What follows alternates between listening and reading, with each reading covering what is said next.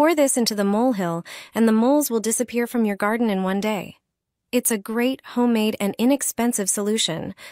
Making this mixture only takes a moment. Start by preparing a tall container. Add one tablespoon of baking soda.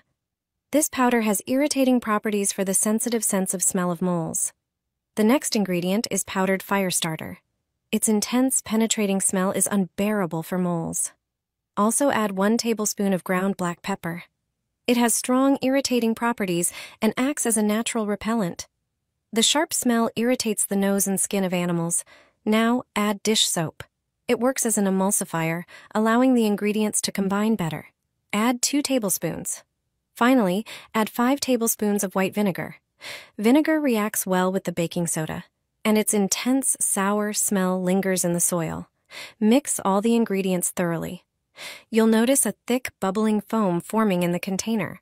This is a desired effect. Pour the foam directly into the molehill. You don't have to destroy it. The moles will immediately leave the area and never return. This is the most effective method for naturally getting rid of moles in your garden.